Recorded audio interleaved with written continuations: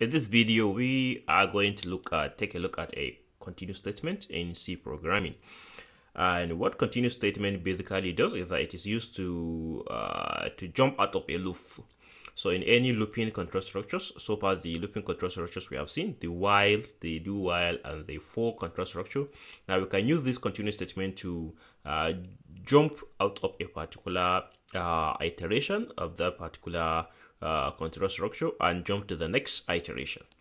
And maybe you want to avoid uh, carrying out uh, some a certain instruction or some instruction on a particular iteration.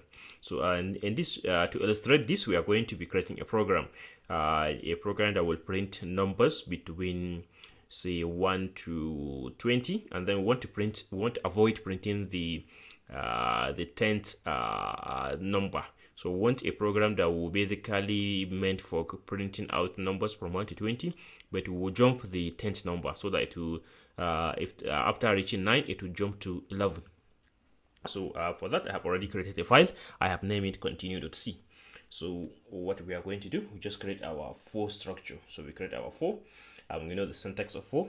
First of all, is initialization. So let's say we have a counter called x for int x equals to 1 and the condition is x should be uh, less than or equals to 20 that is a condition and then we want to be incrementing uh, x uh, by 1 all right so that is what we want to do.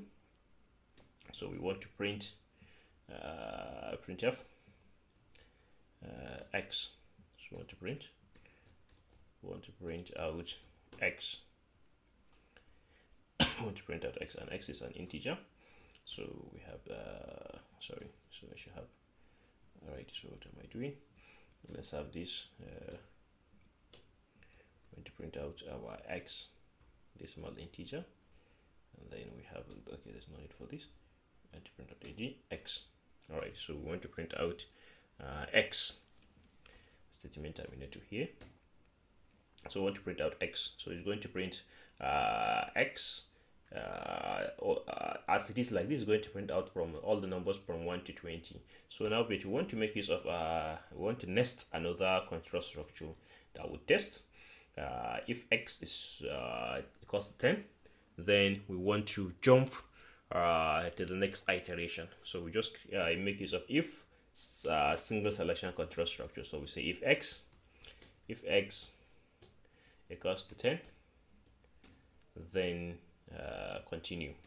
So this brings us to the use of this continue statement. So of origin when x equals to 10 it is not it will not uh, the program will not uh, proceed line number 16 it will uh, increment x so that x will be 11 and then it will continue uh, printing out the numbers so uh, we are going to omit the printing out of the 10th number. So let me compile this program and then run it. And if there's any error, we come, come over and uh, fix the error. So I'll just uh, save it as it is. I'll come to the terminal here. And then let me navigate to the folder where I have this. So cd uh, documents, documents, cd programming, cd C programs, CD, uh, okay, ls, let's see ls, we have CD, C program for scratch, and then we have ls, CD uh, lecture. Let me clear the terminal. Alright, so the next thing what we are going to do now, I'm going to compile it. So I'm making use of my GCC compiler. We have continue, uh, continue.c dash O dash O dash O dash O. Then we have continue, uh, continue, and then we have this. So our program has compiled successfully. Now we can run it, and we have continue. Let's see.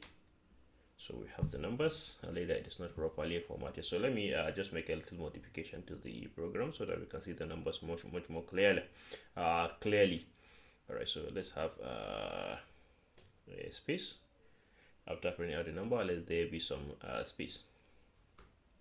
So let's uh, compile the program and then uh, have the program uh, print out the numbers. So let me clear the terminal here and then we have this.